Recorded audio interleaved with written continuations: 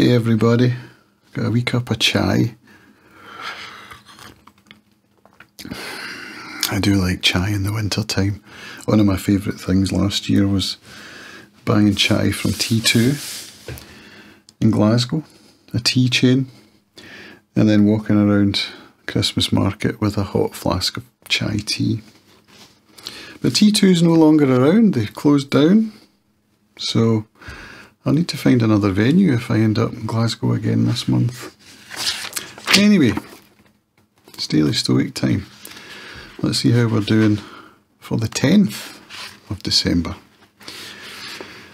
This one comes from Seneca on tranquility of mind.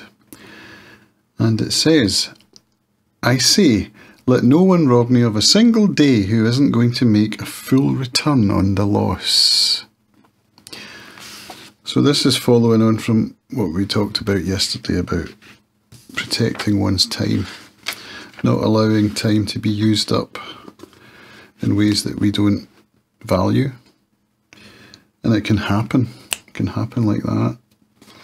Just be careful of making sure that you're making the best use of the only resource that is irreplaceable time.